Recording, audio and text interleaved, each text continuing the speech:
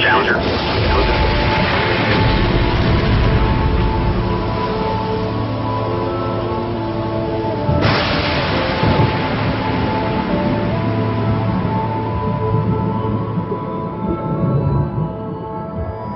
The huge vortices of energy created by our technologies present us with unfathomable consequences. Put a decent man in an airplane a few hundred feet above a village, and he will kill without compunction inflict appalling pain and injury on men, women, and children. That bomber pilot is really very much like the person introducing any new technology. None of these people ever consider what will be the impact or the effect of what they do when they pull that trigger. We cannot trust our instincts or our natural physical responses to new things. They will destroy us. How are we to get out of the maelstrom created by your own ingenuity? Edgar Allan Poe has a story called The Descent into the Maelstrom. Poe imagines the situation in which a sailor who has gone out When I was young, I fished with my brother out beyond the vortex of the maelstrom. We had great luck in those cross currents until the day the sky let loose a furious tempest.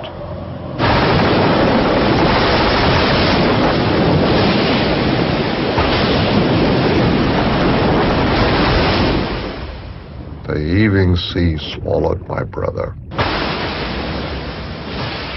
and I was swept into the chaos of the maelstrom.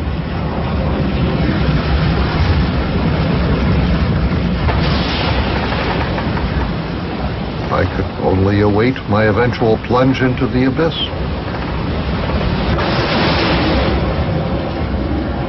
With all hope lost, I found myself idly studying the action of the vortex.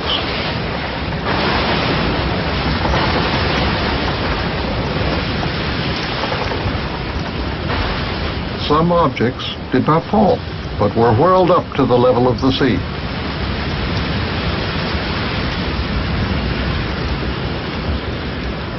Therein lay my salvation.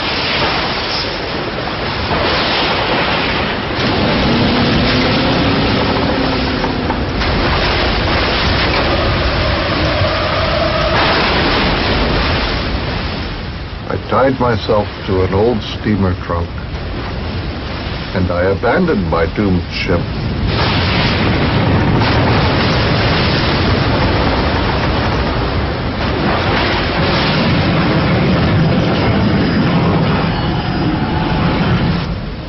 Thus did I free myself from oblivion.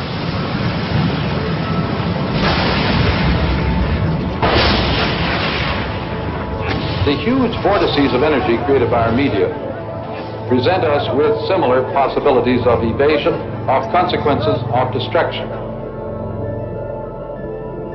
By studying the pattern of the effects of this huge vortex of energy that, in which we're involved, it may be possible to program a strategy of evasion and survival.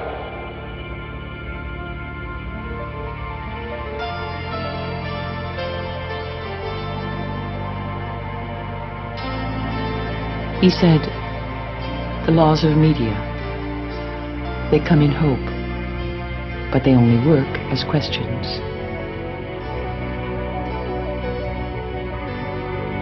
What will you gain? What will you lose? What will return from an ancient time? And what will come of this thing you create if you let it go too far? There's no order to the laws of media. All these effects are happening all the time. The trick is to recognize the pattern before it is complete.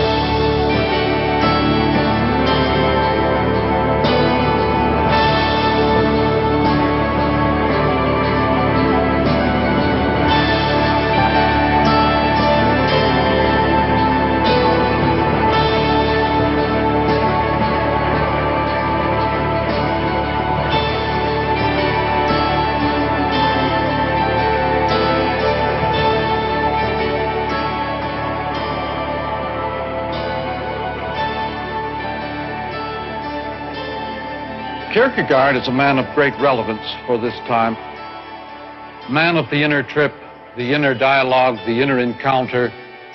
He has A wonderful quote. Life can only be understood backwards, but it must be lived forwards.